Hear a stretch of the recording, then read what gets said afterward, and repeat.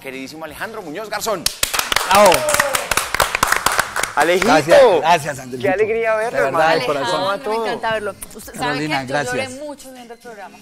Eh, Gracias. pues, teníamos una dudita. ¿Eso era como al mediodía, más o Sí, menos? era de una a dos de la tarde Ah, en el canal 1 cuando produje algo así como 1500 capítulos de ¿Usted qué haría en TVC? ¿Usted qué haría? Dios mío, la canción dice ¿Usted qué haría si la vida le diera otra oportunidad? Y la labor de Alejandro era justamente esa, eh, unir esas familias que se habían roto por cualquier circunstancia. Pero la primera historia fue suya. Sí, la primera historia fue mía y todo arranca porque yo hacía ¿Usted qué haría? y el formato que yo le propuse en ese entonces a Jorge Rangel, que era mi productor. Eh, Jorgito, hagamos un programa donde eh, el país se está llenando de gente desbaratada por las bombas de Don Pablo y todo ese cuento y en todas partes todo el mundo quedaba desarmado, sin pies, sin manos, ciegos, sordos, mudos. Yo dije, vamos a coger ese dolor y se lo vamos a mostrar al país cómo ellos logran superar ese momento de haber perdido un ojo, un brazo, una mano, los dos pies, lo que sea, y que ellos lleven mensajes. Entonces la cosa estaba por ese lado. Y un día yo empecé a, con mis desbarataditos a los que yo adoro, porque crecí, como dicen las reinas de belleza, crecí en mi interior con eso.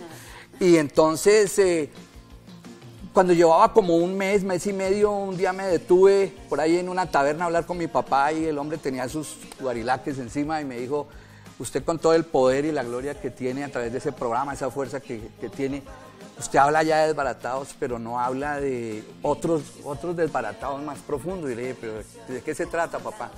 ¿De qué está hablando? Y dijo, yo tengo un hermano cuarenta y tantos años perdido. Mi papá nos dio la herencia, él cogió la platica producto de una venta de, de una finca, le repartió a cada hijo 130 mil pesos hace Muchos. hace muchos años. Y mi hermano yo lo vi que metió eso en un taleguito de plástico, abrió una papaya, puso ahí en una mochila y se fue. Y nunca más lo volví a ver. Y ahí empieza mi papá, se, se quebranta y empieza a llorarme y a decirme, yo como policía me metí en parte a la policía para tratar de buscarlo.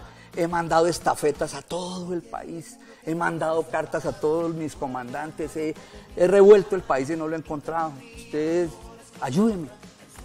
Por eso le dije, listo papá, no se hable más. Pasado mañana tengo grabación, allá lo espero. Y el hombre fue esperanzado, se sentó ahí, lo maquillaron, lo sentaron, lo, lo mismo que me está pasando a mí hoy. Lo sentaron ahí y yo dije, desde hoy voy a abrir una, amables televidentes, desde hoy abro una ventanita de ilusión y de esperanza a esta hora de la tarde y voy a estar desde hoy ayudando a todo aquel que esté perdido de papá, mamá, hermanos e hijos. Bienvenido, señor, este es mi primer invitado, señor. ¿Usted cómo se llama, señor? Eh, ¿Usted cómo se llama? Y me dijo, José Ignacio Muñoz, me dio a la orden. Eh, hágame un favor, eh, ¿usted a quién está buscando? No, muchas gracias, mire, yo estoy buscando a mi hermano, mi hermano. ¿Cómo se llama su hermano? José Simón Muñoz Rodríguez.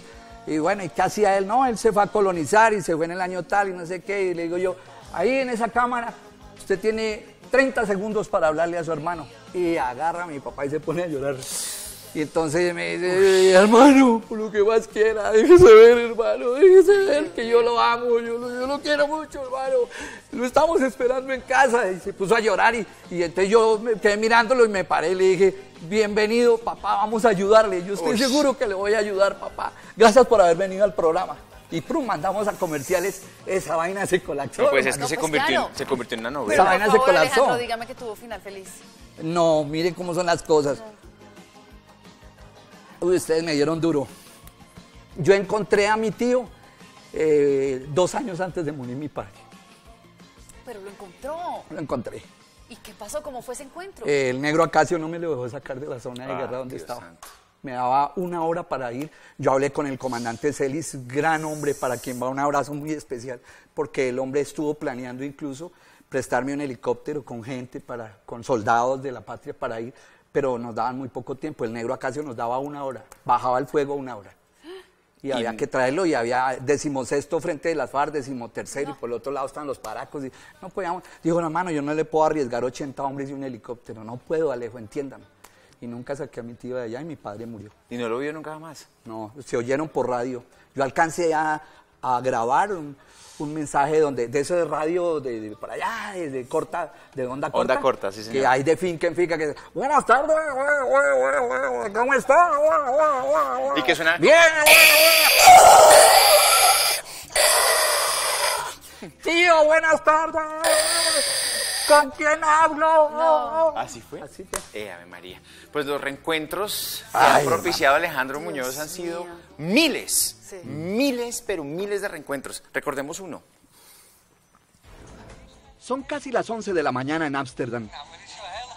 Mauricio, un joven colombiano criado con amor por esta su familia adoptiva en Holanda, es despedido. Todos de corazón le desean un feliz viaje. Todos están muy felices y cuando yo hablo sobre mi familia en Colombia, todos dicen es familia de nuestro también. Todo es una familia. Y de sorpresa todos le han regalado el viaje tan esperado a Colombia para su reencuentro con familiares biológicos de los que se separó en Pereira 18 años atrás.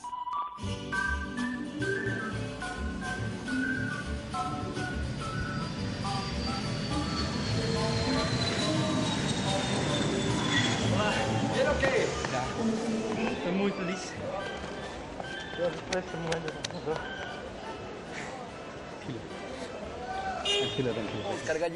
Y La historia es la siguiente. Ese muchacho Mauricio que acababa de llegar había sido un niño de la calle de Pereira. ¿Y lo adoptaron unos holandeses? Sí, lo adoptaron porque además él, eh, pues, en esas condiciones de vida que tenía, él era un niño malo. Malo, una vez, una vez lo llevaron al, yo lo llevé ahí, en la nota se ve cuando yo lo llevo a la inspección de policía y el policía estaba durmiendo y él le quitó el revólver y le dijo, ¿qué No, policía? no, no, no, qué susto, ¿no? Sí, ¿De verdad? él- y él saludó al policía que lo, que lo amenazó, O sea- pero ahí no en la historia no lo conté. Pero, pero ya eran amigos, de tanto que lo habían agarrado. No, pues sí, y entonces una señora se compadeció de esa situación, además él medio sordo, con una mamá sorda profunda y con unos seis hermanos todos sordos, este era el que medio oía, entonces esa señora le vio condiciones de vida, dijo, salvémoslo, sí. salvémoslo, y entonces se lo entregó en adopción a través del bienestar familiar a unos holandeses y él se fue. Para no hacer larga la historia, terminó con final feliz esta historia. Uy, ¿sí? divino. Además, además, cuando lo devuelvo, él, gracias a esta historia que yo conté, Sí. encontramos al hermano drogadicto. Eh. No, Sí, sí, sí, sí, fue Alejandro, hermoso. Eh, yo me imagino la cantidad de agradecimientos de muchísimas, de miles de personas por, eh, gracias a usted, por ser ese instrumento para poder encontrar otros familiares. ¿Cree usted que por el tema de las redes sociales, Facebook, Instagram, eh, eh, Twitter, bueno, en fin, Messenger, eh, la gente ya no le cree a este medio o es todo lo contrario? Pues eh, lo que pasa es esto, eh, Carolina. Eh, las redes, Sí. las redes son muy buenas para buscar eh, amigos, exnovios por ahí, gente de la barriada, eh, gente que jugó fútbol con uno cuando chico y todo eso. Pero las redes no son las más óptimas para uno acercarse a papá, mamá, hermanos e hijos. No, Claro. no son. Por ejemplo. porque lo primero que hacen, por ejemplo, los adoptados. Los adoptados tienen redes y ellos dicen, no, mira, yo encuentro a mi mamá, yo entro a la Facebook, pero mi mamá cierra Facebook. No entiendo por qué, ella es mamá. No, no, no hay aceptación. Para que haya un reencuentro, se tienen que cumplir tres etapas, Carolina.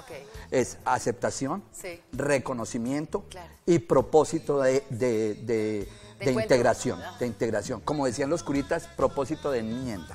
De ¿Sí? enmienda. Entonces- Actitud y sobre todo voluntad. Exacto. Entonces, si no hay, si no hay reconocimiento en la persona, ah, sí, él es mi hijo, si no hay aceptación, sí, yo acepto que soy el papá y lo abandoné por cosas que no vienen al momento. Sí, me voy a encontrar con él y voy a, a mantener un espacio. Si no hay esos tres, esas tres fases, no haga reencuentro. No le jale eso, porque se va a meter en un problema muy grande. Eso y ser amante de alguien al oculto es lo mismo. ¿sí? Que puede producir, un reencuentro puede producir la muerte. Sí, yo he tenido reencuentros donde hay gente que me dice, sobre todo las niñas, me dicen, don Alejandro, yo no conozco a mi papá, pero yo no le voy a perjudicar a él el, el- el Su matrimonio de, de hoy. Yo sé que él tiene, debe tener hijos, de- yo sé que debe tener una Simplemente esposa. quiero suplir ese Yo, abandono que tengo Don Alejandro, mire, póngamelo, póngamelo en una cafetería y, y- y yo lo miro y ya le digo, no, eso no se puede así, ¿sí? Hay gente que me dice, don Alejandro, yo me cito con él, eh, suéltemelo ahí en la cafetería y yo lo me veo. Alguna vez, de tonto tal vez, pequé y le di a alguien un dato y ese alguien fue y se encontró con el papá y por casualidad pasaba un hijo mayor de, de ese señor y fue y le dijo a la mamá, Ay, mi, mi- mi papá tiene como una moza, es una peladita joven, no sé Ay, qué. no. Yo tuve que entrar, yo tuve que entrar en escena, porque cuando le llegó la familia, eso me No, sucedió no, en. Zipaquirá, cuando yo entré, entonces yo le dije, no, no, no, tranquila señora, mire, yo soy Alejandro Muñoz. Ah, sí, yo como que lo... Mire, estamos haciendo un reencuentro, en realidad ella es una hija, pruébemelo.